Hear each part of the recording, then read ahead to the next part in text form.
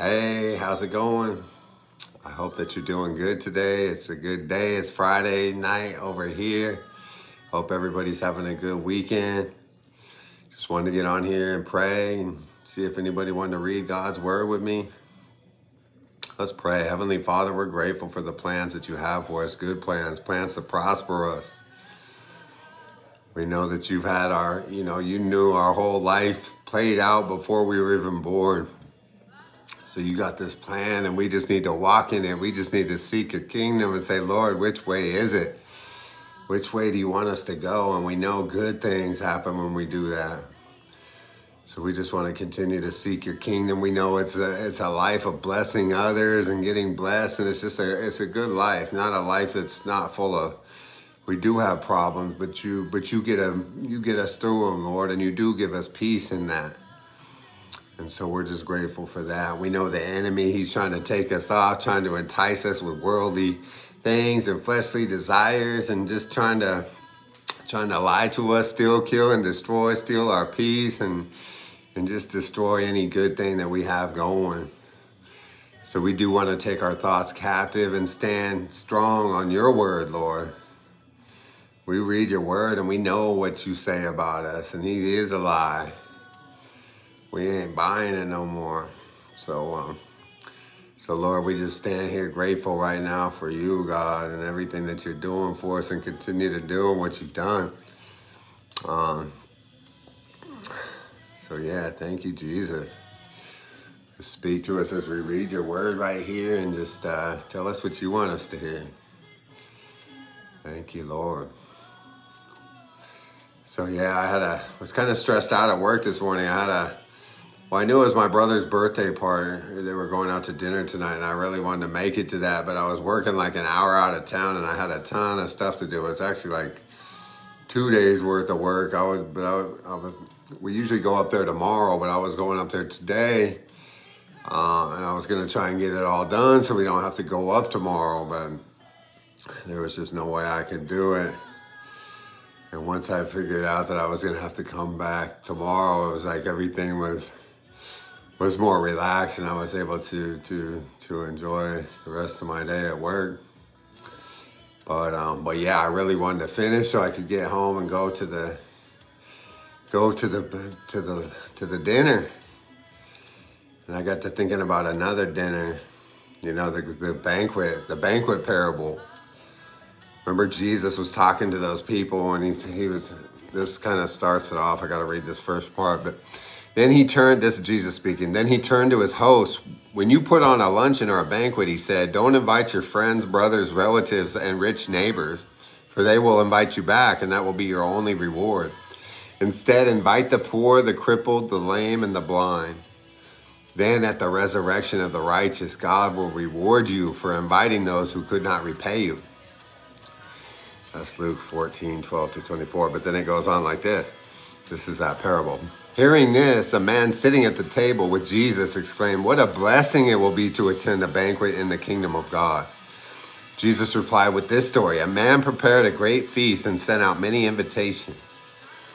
When the banquet was ready, he sent his servant to tell the guests, Come, the banquet is ready, but they all began making excuses. One said, I have just bought a field and must inspect it. Please excuse me. Another said, I have just bought five pairs of oxen and I want to try them out. Please excuse me. Another said, I just got married, so I can't come. The servant returned and told his master what they had said. His master was furious and said, Go quickly into the streets.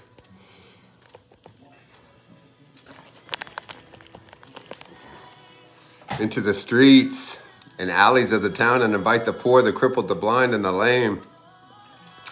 After the servant had done this, he reported there is still room for more.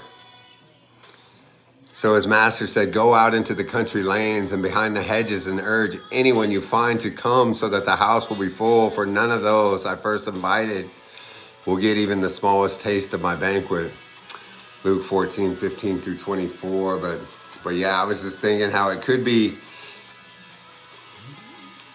You know, I'm just glad that the Lord doesn't have it set up where it is definitely urgent. Like we want to make sure that everybody's ready, that they have a relationship with God, you know, before they die or before He comes back. But but it's not. But He doesn't put that kind of pressure on us to go out there and and, make sure that everybody knows. Although we do. Um, yeah, the people had the um, excuses, excuses in their dumb excuses. Please, kind of like they have today. I just bought a field and must inspect it. I've just bought five pairs of oxen and I want to try them out. What was the other one? Oh, I just got married, so I can't come. Um, but yeah, so, um, but I'm glad the Lord doesn't, yeah, He doesn't put that kind of pressure on us. It's a, it's all spirit led, but we still need to. Um, so, so be careful how you live. Don't live like fools, but like those who are wise. Make the most of every opportunity in these evil days. Don't act thoughtlessly, but understand what the Lord wants you to do. Don't be drunk with wine because that will ruin your life. Instead, be filled with the Holy Spirit, singing psalms and hymns and spiritual songs among yourself and making music to the Lord in your hearts. And give thanks for everything to God the Father in the name of our Lord Jesus Christ. Ephesians uh, 5 15 through 20. So yeah, it's it's it's important that yeah that we get that people be saved now and that we do what we can. But yeah, there's joy with the Lord and and um, and he does he doesn't put all that on us to to take that responsibility for everybody. So that's that's good. It's all it's all spirit led. The Lord is not slow to fulfill his promise as some count slowness, but is patient towards you, not wishing that any should perish but that all should come and reach repentance. But the day of the Lord will come like a thief, and then the heavens will pass away with the roar, and the heavenly bodies will be burned up and dissolved, and the earth and the works that are done on it will be exposed. Second Peter 3, uh, 9 through 10. So yeah, just looking at that parable of the great banquet, I feel like we're we we are the we're the ones that are going out that need to go out and start inviting people you know, and, and, talking to them about the Lord. I know everybody knows that there's churches out there that they can go to. Uh, everybody knows that, that, that they're about Christianity, but we can still go. We can still go talk to them and, and invite them to church, or just talk to them about the Lord, or or or whatever, and get something get something going we're the messengers. We're the we're the ambassadors. God's calling on us. He chose us. He pulled us out of the darkness and brought us into his marvelous light so we could go share uh, our testimonies and his goodness and and that. So so yeah we do want to go oops.